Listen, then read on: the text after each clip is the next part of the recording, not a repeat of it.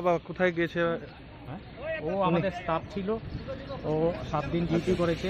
সাত দিন ডিউটি করার পর এখন অ্যাজ পার গাইডলাইন ওকে আমরা চোদ্দ দিনের কোয়ারেন্টাইনে পাঠাচ্ছি। তা কি উনি কি কাজ করতেন এখানে? উনি group D GDA general duty আচ্ছা এখন কোথায় যাবেন উনি? উনি যাবেন সিপারডে আচ্ছা, আচ্ছা। সিপারডে কোপারেটিভে ওখানে কোয়ারেন্টাইনে ওনার নামটা কি বলা যাবে? রঞ্জিত দেববর্মা।